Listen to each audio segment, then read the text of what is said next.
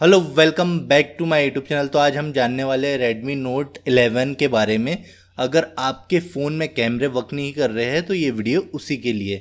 तो ये जिन भाइयों के पास डायग्राम नहीं है, ये वीडियो उनके लिए। तो चलिए आज का टॉपिक स्टार्ट करते हैं हमारा।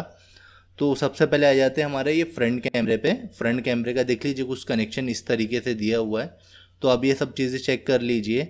इतना सब चेक नहीं करने की ज़रूरत रहती है गाइस ज़्यादातर प्रॉब्लम सी से रहता है ये मॉडलों में। तो आप फिर भी एक बार चेक कर लीजिएगा अपने हिसाब से। अगर हो सकता है आपका कोई एक आधा कंपोनेंट मिसिंग है या कुछ है तो उसके लिए भी हेल्पफुल हो सकती है ये वीडियो तो देख लीजिए कुछ इस तरीके का कंपोनेंट है, इस तरीके का कनेक्शन है। आप ये सब चेक कर लीजिएगा। फ्रंट कैमरे का आ जाता है हमारे back camera main camera fifty mega वाला।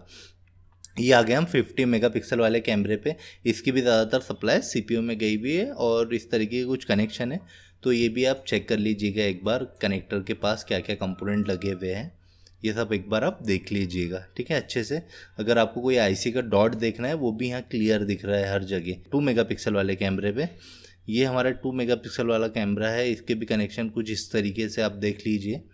अब आ जाते हैं हमारे एट मेगापिक्सल वाले कैमरे पे। ये हमारा एट मेगापिक्सल वाला कैमरा है, इसके भी कनेक्शन कुछ इस तरीके के है। अब आ जाते हैं हम हमारे टू मेगापिक्सल वाले कैमरे पे। उसके कनेक्शन भी कुछ इस तरीके के आप ये सब चेक कर लीजिएगा।